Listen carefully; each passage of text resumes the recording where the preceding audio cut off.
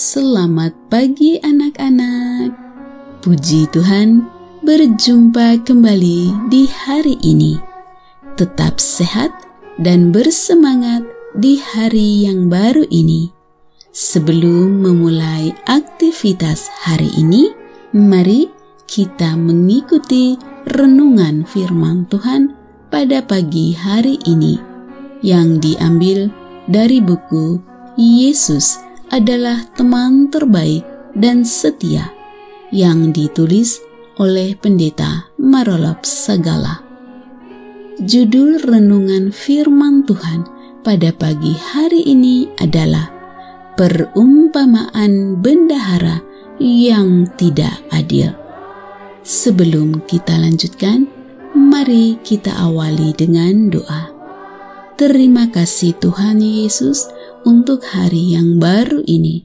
Sekarang kami siap untuk mendengar firman-Mu. Kiranya roh kudus-Mu hadir bersama kami. Terima kasih Tuhan Yesus. Amin. Ayat renungan firman Tuhan pada pagi hari ini diambil dari kitab Lukas pasal 16 ayat 1.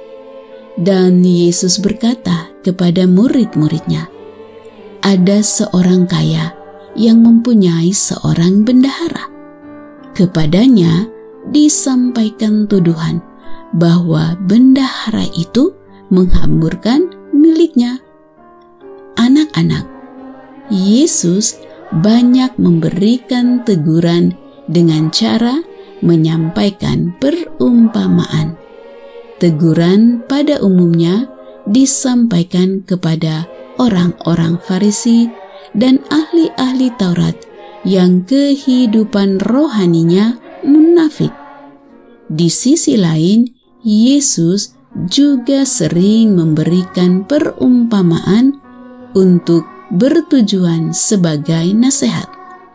Ketika perumpamaan yang bertujuan sebagai nasihat pada umumnya ditujukan kepada para pengikutnya dan kepada murid-muridnya.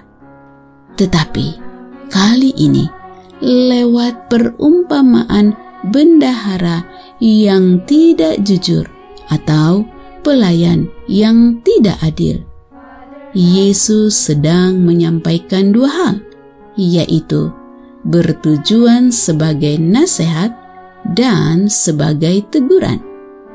Itu sebabnya di ayat hafalan firman Tuhan berkata, Yesus berkata kepada murid-muridnya, sekalipun Yesus berbicara kepada murid-muridnya, tetapi ada orang-orang lain juga hadir mendengar apa yang Yesus katakan.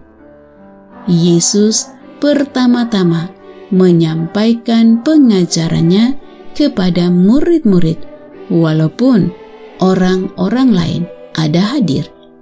Sebagaimana di dalam Lukas 15 ayat 2, orang-orang Farisi ada hadir pada peristiwa pada Lukas 16 ayat 14 dan pada akhirnya Yesus berbicara langsung kepada mereka para pemungut cukai hadir di sekitar para pendengar, dan perumpamaan memiliki arti yang khusus untuk mereka. Kemudian Yesus menyampaikan suatu perumpamaan. Ada seorang kaya yang mempunyai seorang bendahara. Kepadanya disampaikan tuduhan bahwa bendahara itu menghamburkan miliknya. Lukas 16 ayat 1. Lalu ia memanggil bendahara itu untuk mempertanggungjawabkannya. Dan pada waktu yang sama, majikannya, orang kaya itu, telah menyampaikan bahwa bendahara itu akan diberhentikannya dari pekerjaannya. Maka bendahara bertindak dengan cerdik dia mempersiapkan masa depannya dengan kecerdikannya. Inilah kecerdikan bendahara itu.